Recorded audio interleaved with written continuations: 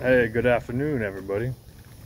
So today I was doing my pre-trip this morning, and uh, my tandem release arm, the handle was missing. So I went to the shop and told them, you know, hey, it's a loaded trailer. This thing's going to a store.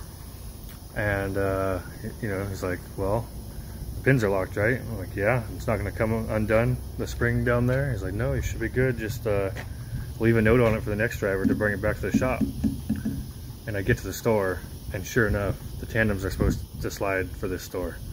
And so I'm uh, I'm looking at it like you know what? I remember somebody telling me that these new trailers the 1.8 the numbers that start with a 1.8 they have some pneumatic system on there. And I checked the trailer number sure enough it's a 1.8 and uh, let me show you. So I was looking at this and there's even a zip tie that somebody left there. Sometimes people put that in there to uh, hold the handle down. So that had me real confused.